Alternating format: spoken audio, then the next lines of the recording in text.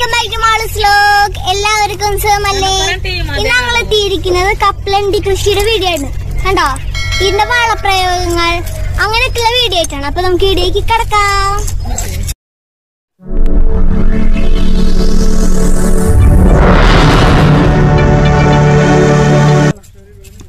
ഇന്നത്തെ നമ്മുടെ വീഡിയോ എന്ന് പറയുന്നത് നമ്മുടെ കപ്പലണ്ടി കൃഷിയാണ്. നമ്മൾ പരമാവധി എല്ലാവരും വീടുകളിൽ പറമ്പിലൊക്കെ വെച്ചുണ്ടാക്കുന്നതാണ് കപ്പലണ്ട്.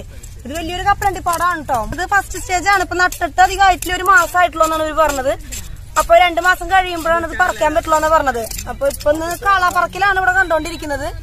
അപ്പൊ ഇത് എന്തൊക്കെ വളപ്രയോഗമാണ് കൊടുക്കുന്നത്? ഇതിന്റെ ഇതിന് വേണ്ടിയിട്ട് നമുക്ക് നോക്കാം. അപ്പൊ നമുക്ക് വീഡിയോ മുഴുവനായിട്ട് സ്കിപ്പ് ചെയ്യാതെ കണ്ടാൽ മാത്രമേ എന്തൊക്കെ ആയിരുന്നു മനസ്സിലാവുള്ളൂ കേട്ടോ കപ്പലണ്ടി ഇഷ്ടപ്പെടാത്ത ആരും തന്നെ ഇല്ല. കുട്ടികൾ മുതൽ മുതിർന്നവർ വരെ എല്ലാവർക്കും കഴിക്കാൻ ഇഷ്ടമുള്ള ഒന്നാണ് കപ്പലണ്ടി. ഏറെ ഗുണങ്ങളുള്ള എണ്ണക്കുരുവാണ് കപ്പലണ്ടി എന്ന് പറയുന്നത്. ഇതിന്റെ ഗുണങ്ങൾ കാരണം കൊണ്ട് തന്നെയാണ് നമ്മളിത് കഴിക്കുന്നത്. കപ്പലണ്ടി കൊണ്ടുള്ള നിരവധി വിഭവങ്ങൾ നമുക്ക് എല്ലാവർക്കും ഇഷ്ടമുള്ളവയാണ്. കുട്ടികളുടെ സമീകൃത ആഹാരത്തിൽ കപ്പലണ്ടി ധാരാളം ഉൾപ്പെട്ടിട്ടുണ്ട്. Calcium vitamin D folic acid എന്നിവ ധാരാളം ഇതിലടങ്ങിയിട്ടുണ്ട്.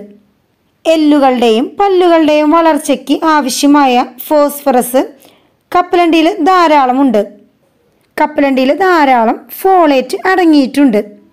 ഇത് ഗർഭിണികൾക്കും ഗർഭസ്ഥ ശിശുക്കളുടെയൊക്കെ വളർച്ചയ്ക്ക് അത്യാവശ്യ ഘടകമാണ്. ഇതിലടങ്ങിയിരിക്കുന്ന ഒമേഗ സിക്സ് ഹൃദ്രോഗത്തെ തടയാൻ കഴിവുള്ള ഒന്നാണ്. തമിഴ്നാട് ആന്ധ്രാപ്രദേശ് മഹാരാഷ്ട്ര എന്നിവിടങ്ങളിലാണ് കൂടുതലായിട്ടും കപ്പലണ്ടി കൃഷി ചെയ്തു വരുന്നത്. കേരളത്തിലെ കപ്പലണ്ടി കൃഷി വളരെ കുറവായിട്ടാണ് കാണാറുള്ളത്. വെള്ളം കെട്ടി നിൽക്കാത്തതും ഇളക്കമുള്ളതുമായ മണ്ണിൽ കപ്പലണ്ടി നന്നായിട്ട് വളരും. ചാണകപ്പൊടിയിൽ ഇളക്കിയ മണ്ണിൽ കപ്പലണ്ടി നമുക്ക് പാകാവുന്നതാണ്. തൈക്കിളിർത്ത് പൊങ്ങി രണ്ട് മാസം ആകുമ്പോഴേക്കും പൂക്കളിടും. അരമീറ്റർ വരെ ഉയരത്തിൽ വരുമ്പോഴാണ് പൂക്കളിടുന്നത്. പൂക്കൾ കരിഞ്ഞ് ഉണങ്ങുമ്പോൾ ഇവ മണ്ണിലേക്ക് ചായും. പിന്നീട് ഇവ മണ്ണിൽ താഴ്ന്നിറങ്ങിയിട്ട് വിത്തായി മാറാൻ തുടങ്ങും. രണ്ട് മൂന്ന് മാസത്തിനുള്ളിൽ വിളകൾ പറിക്കാനായിട്ട് നമുക്ക് സാധിക്കും. പാകമായ കപ്പലണ്ടി ചെടികൾ വേരോടെ പറിച്ചെടുത്തിട്ട് അതിലെ വിത്തുകൾ വേർതിരിച്ചെടുക്കാം. കപ്പലണ്ടി കൃഷിക്ക് നല്ല പശ്ചിമയുള്ള മണ്ണാണ് അനുയോജ്യം. കപ്പലണ്ടി കൃഷിയിൽ സാധാരണയായിട്ട് കീടബാധകൾ കുറവാണ്. വേരിച്ചിയലും ഇരത്തീനി പുഴുക്കളൊക്കെയാണ് ഇതിനെ ബാധിക്കാറുള്ളത്. ജൈവ കീടനാശിനികൾ ഉപയോഗിച്ചിട്ട് ഇത് തടയാനായിട്ട് സാധിക്കും. കപ്പലണ്ടി കൃഷി ചെയ്യുന്ന രീതി എന്ന് പറഞ്ഞിട്ടുണ്ടെന്ന് വെച്ചിട്ടുണ്ടെങ്കിൽ മണൽ കലർന്ന മണ്ണാണ് ഏറ്റവും കൂടുതൽ നല്ലത് മണ്ണ് നല്ല പോലെ കിളച്ചിട്ട് അതിൽ ചാണകപ്പൊടി വേപ്പിൻ പിണ്ണാക്ക് എല്ലുപൊടിയൊക്കെ മിക്സ് ചെയ്തിട്ട് രണ്ടടി വീതിയിൽ തടം പിടിച്ച് അതിൽ ഒരടി അകലത്തിൽ വിത്തുകൾ നടാം. തൊണ്ടോട് കൂടിയിട്ടുള്ള വിത്താണ് നടേണ്ടത്. നട്ട് കഴിഞ്ഞ് ചെറുതായിട്ട് ഒരു ദിവസം ഇടവിട്ട് നനച്ചു കൊടുക്കാം. അധികം വെള്ളമൊന്നും ഇതിന് ആവശ്യമില്ല. മുള വന്നു കഴിഞ്ഞ് പതിനഞ്ച് ദിവസം കഴിഞ്ഞിട്ട് ചാണകപ്പൊടിയോ കമ്പോസ്റ്റോ ഇട്ടിട്ട് കുറച്ച് മണ്ണ് മുകളിൽ ഇട്ട് കൊടുക്കാം. മൂന്നോ നാലോ ദിവസത്തിൽ നനച്ചു കൊടുത്താൽ മതി. ഒരു മാസം കഴിയുമ്പോൾ അടുത്ത വളം കൊടുക്കാം.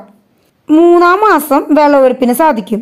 പൂക്കൾ വന്ന ശിഖിരങ്ങൾ മണ്ണിൽ ചേർത്ത് വെച്ചിട്ട് മണ്ണും ചാണകപ്പൊടിയൊക്കെ ഇട്ട് കൊടുത്തിട്ടുണ്ടെങ്കിൽ അതിൽ നിന്ന് ഒരുപാട് കായകൾ ലഭിക്കും. ഇലകൾ കരിഞ്ഞു കഴിഞ്ഞിട്ടുണ്ടെങ്കിൽ വിളവെടുപ്പ് നടത്താം. കൂടുതൽ വെള്ളമൊന്നും ആവശ്യമില്ലാത്ത കാരണം വേനൽക്കാലമാണ് നടാനായിട്ട് ഉത്തമം. അധികം പരിചരണമൊന്നും ഇതിന് ആവശ്യമില്ല കേട്ടോ. അമ്മ പറഞ്ഞെന്ന കാര്യങ്ങൾ നിങ്ങൾക്ക് ഉപകാരപ്രദമായെന്ന് വിചാരിക്കുന്നു.